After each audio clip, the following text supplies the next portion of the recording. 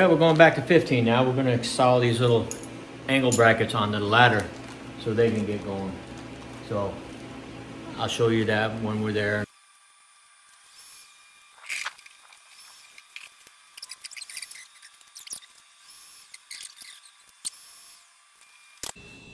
All right. Once again, lessons learned from me and my mistakes. 16 foot, make sure you stick with the 16 foot procedures. What you got here, your angle brackets that go on the poles, and then the inside piece goes like this. I forgot to put that piece on. So I'm going back through the ones that I already did and put it on. But right now I'm working on the 16 foot side of the house. So I'm gonna finish this up. Uh, I'm not gonna show you the putting it together. It's already, we did that. I'm just touching up what I made a mistake and then we'll go from there. Well, what I've started on now is a cross member. And of course, I'm only on step 13 for that one. I'm bouncing back and forth as I put everything together here on the ground, the bigger pieces. When I get out to the stand, erecting it will make it a lot quicker. So right now, all we're doing is connecting 14 and 15 together, the female end on both sides and the male end on the 14 together. And uh, then we're gonna extend this because remember, we're doing 16 feet. So these are gonna be a little bit longer and uh, there's a 13A and a 13B, but all the bolts are in, uh, looking like they're all in one here anyway. Now this one here, you don't have to loosen, you can keep them all tight. So I'm gonna go ahead and tighten all these up and then I'll get right back with you, okay? I'm back. So what we're doing now is gonna put on the seat. Little emblem here says seat front. And we're gonna start with the seat here. And this is figure 27. So I guess I'm gonna have to figure out how to stretch this thing out. Oh, here we go. There we go. It's got six screws on each side. So I guess you stretch it over here. One first, and then we'll get the other one. So what I'm gonna probably do is screw one half in here. And obviously, I've already got the screws open. So this might take a little while. So let me go ahead and play with it with you here on there because I think this is the hardest part of the boat chair. There we go, I see a hole here and we're gonna start screwing that one in a little at a time, I think.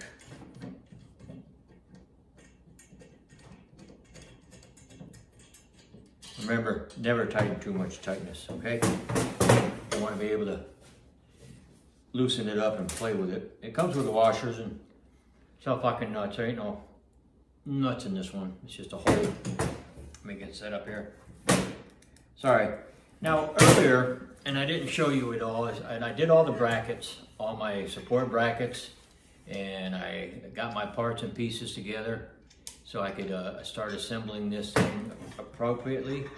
And I gotta find a hole here. Dang, oh, this thing ain't easy. There it is. I found it. Yeah, I think I did. Maybe not. The aquaticity of this thing. Let's just do it the old-fashioned way. The only way I know how. Put it up where I can see the damn holes. Trying to find the nut plate in there. Like I said, there's six bolts and six washers. Each go in these little holes. You know, I just might tighten this thing down just to be done with it. That way I know it's on one side. And then we'll just stretch it over the other side. The one thing about Game Winner, sometimes their instructions are very confusing. I mean, they are to me anyway. I get confused a little bit.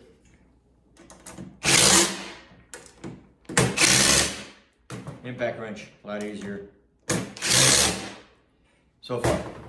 So, so now all we got to do is take this other piece and stretch it over this piece here. So how am I gonna do that? I don't know yet. Okay, got a little extra leverage there. It is a little complicated. Nothing that we can't overcome. So hold on, let me get a screwdriver.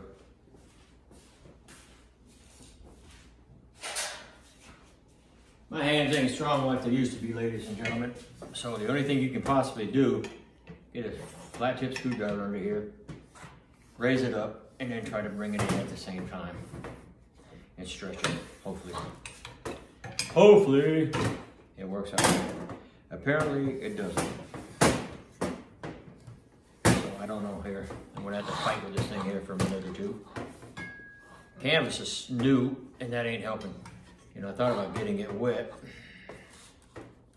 All I have to do is get one end over and the rest will follow. Here we go. Here we go. Don't mind that, that's all the hardware for tomorrow or the next day or two.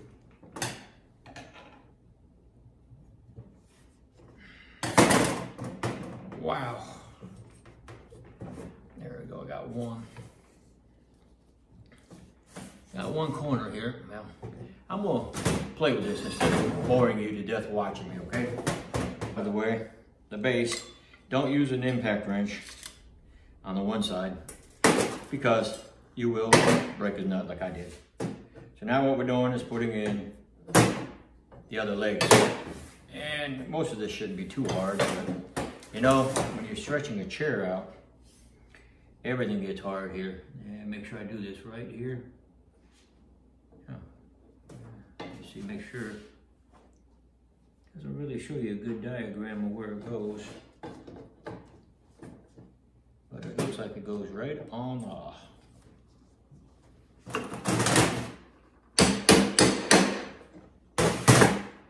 Once again, ladies and gentlemen, it is a bitch. It is a bitch.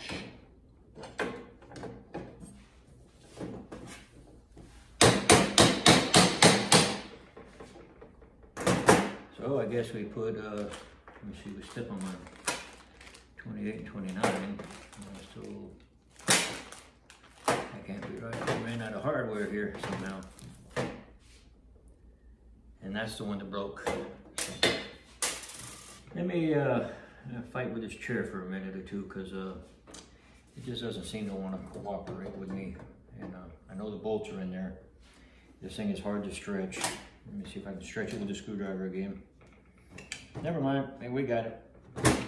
Screwdriver, works every time. Just gotta find the hardware for it. Obviously these two bolts in here. And I got some more nuts and bolts here. 28, 28, we're good. Trying to keep myself squared away here. Remember, we gotta do the top as well as the bottom. And this chair is not exactly the easiest put together. I mean, Game Winner's had some good chairs in the past. I've had no problems with them. Uh, but lately, use a hammer and try to get it to catch. Shouldn't have to do this, but it, sometimes you just gotta do what you gotta do. Try to get this thing in here a little bit easier.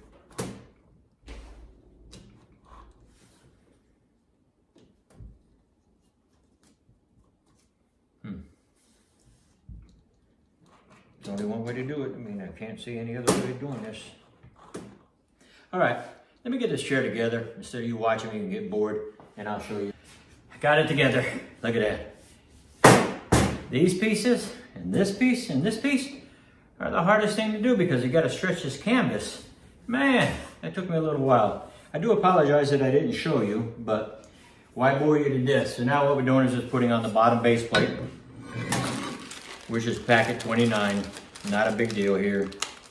Now there is another piece of this pie that I don't have for you uh, at the moment, and that is I'm going to actually do the stand cover, right, that goes over the top of that thing. I'm going to look at it, I'm going to take it apart, but I don't think I'm going to be able to put it together until I get the stand in the air, and that's the game plan right now. So I do have the overhead cover, the roof, whatever you want to call it, so I can at least protect myself if it does rain a little bit. I go out there in the rain.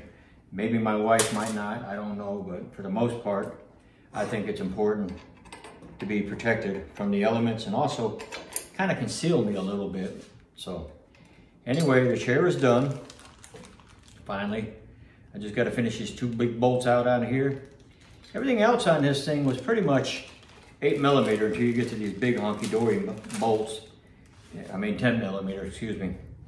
Uh, I had both and uh, either way, they give me these wrenches for this shit. Uh, I don't like cheap stuff anyway, so I like to use my tools. I did use the impact wrench on the other stuff.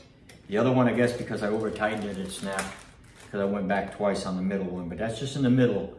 So I'm actually not concerned about that as much. That's on me, I broke it. So anyway, the chair is done and I'll stick it on my seat here in a second just to see what it looks like. I might even take the stuff out there and put it on the ground today and just leave it so I don't have it in my garage. I don't know yet. We'll have to see and play that one by ear. Obviously, these two nuts and bolts are not gonna work on this thing, which I didn't anticipate it to work anyway. But like I said, ladies and gentlemen, I went through this thing periodically and did what I could to set it up because when I go out to the woods, right, I really, really do not feel like messing with stuff. I want to be able to get out there, I want to be able to hit it and be done with it. You know what I mean? Uh, once we get out there in the stand, I want to be done in an hour, putting it away. Man, I don't know which size this one is. They didn't tell me exactly. I am using my DeWalt set here. Yeah, it looks like we're going up to about a 14 millimeter. I could read the instructions. That'd probably tell me the size of the bowl, but it actually doesn't tell me anything. That's a 14 millimeter. Downfall about the 14 is I only have one. Let me go get the other one. Hang in there. Now I got a double 14. What's the deal? Don't tell me that's not a 14. Yep, it's a 14. You know what I got to do? I got to switch bits. You know, I come to love this DeWalt set. Uh, my son-in-law got me this for Christmas, the DeWalt flashlight.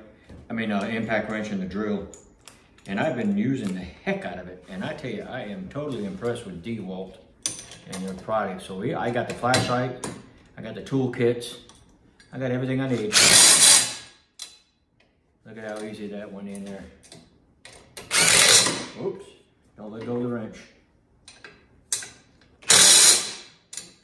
This will tighten everything down that I need to tighten tonight.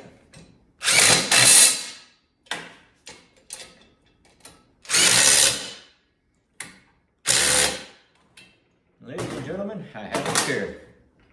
Once I get the socket off of this thing. And put my tools back so I don't lose them.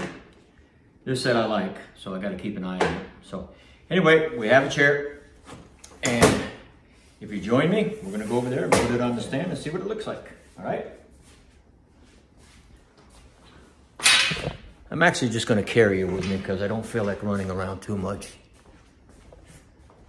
Oh, look, the stand. Yeah. Just take this in here.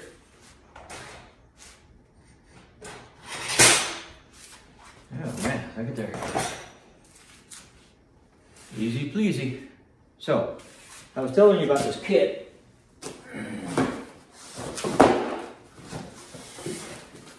I went and got the accessory kit for it. So it's gonna kind of protect me there. I don't know what to do with it yet. Uh, I will do it, but right now, all I have to do now is take it out there, put it together, and uh, we'll see what happens. I think I'm gonna wait for help. I think it's the smartest thing to do.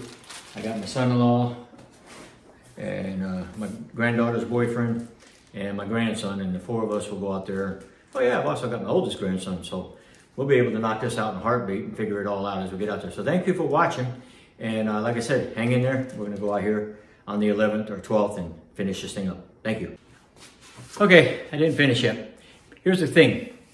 I'm putting on the canopy, like I told you, right here. Read the instructions. Pretty simple, but you don't want to do this while you're in the sand. So what I did is I put the up brace here, already put it on by removing the bolt, and they give you two more replacement bolts to make it longer. This way, when you do your canopy, let me see if I can get up on the top. Yeah, right there, see? As you do your canopy, right there, ah, sorry, trying to make sure I get the best view. You don't have to stand in your stand and try to do that. Just do it up here now. I'll set it down when I'm ready to put the canopy on there. All the other pieces will just slide in and little dinky bolts, stretch the canvas around this thing and be good to go. So that's where we are right now. So thank you, and we'll get out to the stand and finish this. Hey, I just couldn't finish. So I put the canvas on. It's sitting up high right now, so to get in and out of the stand. And then I'll lower it back down. But what we're gonna do is put this on here. Me and the wife are gonna sew a couple places to keep it nice and taut. I've already tied the bottom. A little premature, but the more I do here in the garage, the less I gotta do out in the woods in the cold, okay? So that's it for the day. I'm done. I'm gonna take a break and we'll talk to you later.